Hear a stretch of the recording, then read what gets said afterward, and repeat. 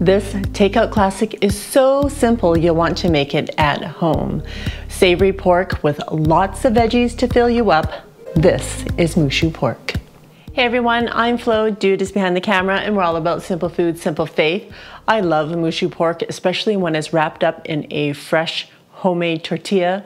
But Ella, my daughter, is not here today to make the tortillas, so I'm just using store-bought tortillas and it will be just as yummy. Well, maybe not just as yummy.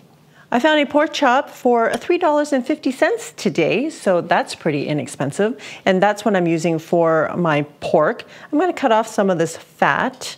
There's actually quite a bit of it. And then I'm just gonna slice it up so that we can put it in a stir fry. All right, so I removed most of the fat and I took off the bone, which it didn't take much effort.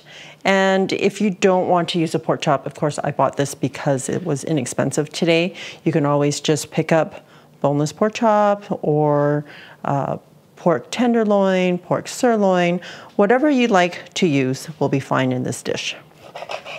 I'm gonna cut it up into strips, slice it first, and then I'm gonna turn it the other way and, and cut it down or across the grain. I guess what I'd like to say is don't be hindered by the cut of meat. Like, I guess if I was younger and didn't know much about cuts of meat, I wouldn't think to cut up a pork chop to make a stir fry. There. Altogether, that's about eight ounces of pork. So that's perfect. That's the amount we need. And just transfer it into my bowl and I'm just gonna marinate it. Adding about two teaspoons of soy sauce, just regular soy sauce or light soy sauce. And one teaspoon of rice wine. I'm just using regular rice wine today. But if you have Shaoxing wine, you can use that instead. And about an eighth of a teaspoon of ground white pepper. And that's it. We'll set this aside to prepare the rest of the ingredients. Using half of a small head of cabbage, I'm going to take out this stem.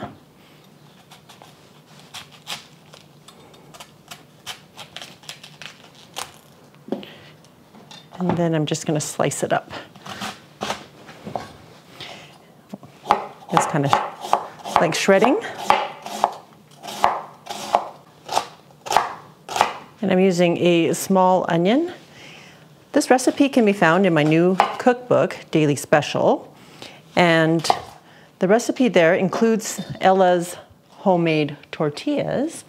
And I am changing it up a little bit just depending on what I have. In the recipe it says half an onion, but this onion's small, so I'm just gonna use all of it. Just slice it up. I'm using four little cloves of garlic. So in the recipe, it says two cloves of garlic. Again, adjust the recipe ingredients to your liking. And I also wanted to make sure that you didn't just skip over this recipe because you didn't want to make the tortillas. You can always just buy tortillas at the store.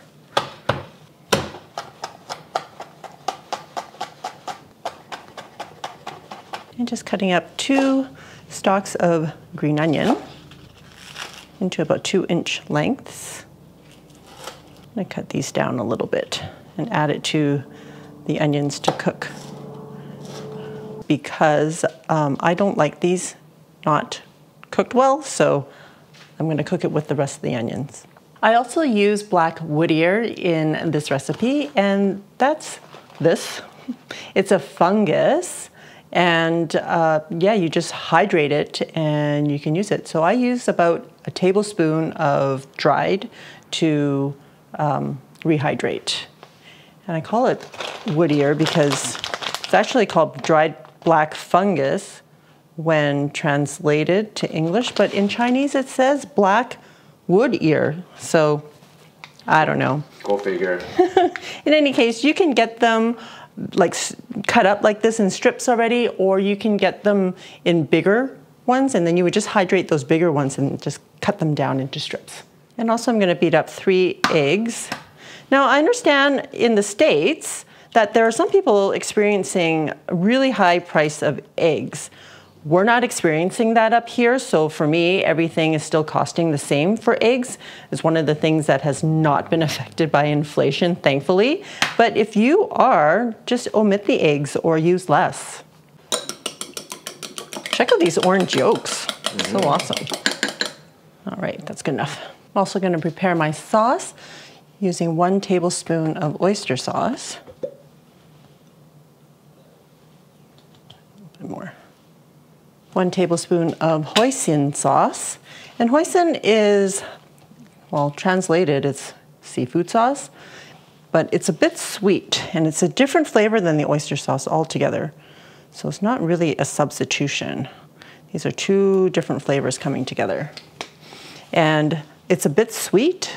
Did I say that already?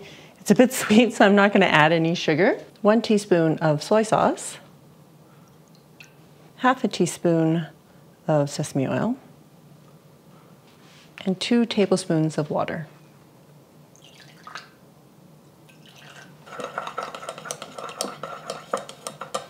All right, set that aside. All right, heating up my wok, medium high. And if you don't have a wok, you can use a large frying pan. Once you see that wisp of smoke, I'm gonna add a tablespoon of oil and add my eggs.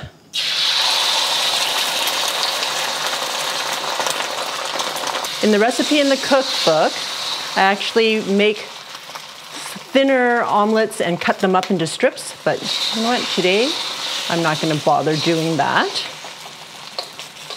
And see, you don't have to do that either. Okay, and we're just going to remove this, put it back in the same bowl, because it will come back out and go into the rest of the dish. Okay, turning the heat down to a medium, adding another tablespoon of oil. I'm going to add my onions. Without the dark green parts. I just want to cook it for about a minute or two. I'm going to add my garlic for another half a minute or so and, or until fragrant. I'm going to push it off to the side, adding a little bit more oil. I'm going to add my pork. The pork is not very fatty, so I do need that oil to cook it and to make sure it doesn't really stick to the wok. Let it sear for about a minute before mixing things around.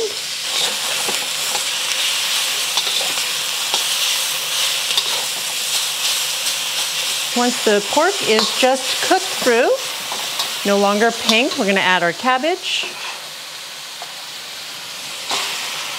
Along with the fungus and our sauce.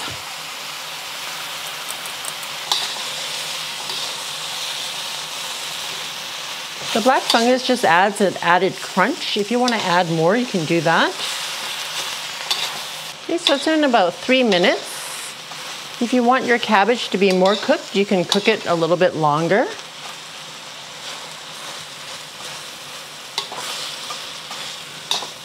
I just want the cabbage to be wilted, but again, if you want it to be more cooked, you can cook it for up to five minutes. It should still be good. Adding my egg back in, I'm gonna chop it up.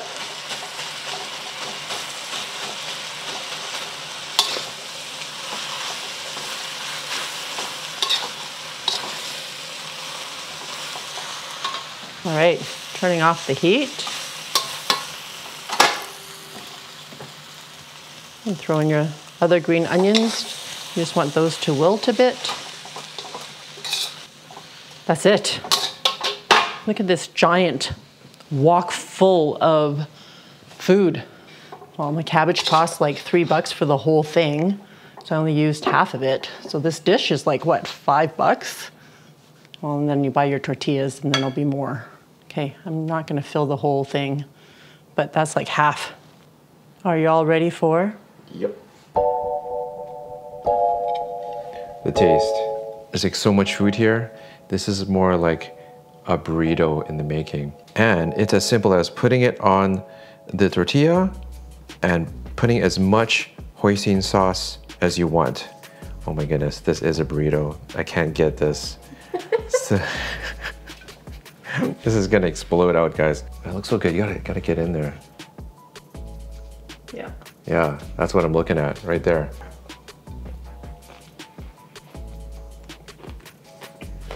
Mmm. Flavor, so good. The hoisin pops, it's sweet, tangy. Yeah, you get the contrast of textures, the soft tortilla, crunch, flavor. I mean, there's not much to say. It's just, it's really good. You can just eat a lot of these things. Awesome. Thanks, dude. Mm-hmm. Hope you agree that it is super simple to make and really inexpensive.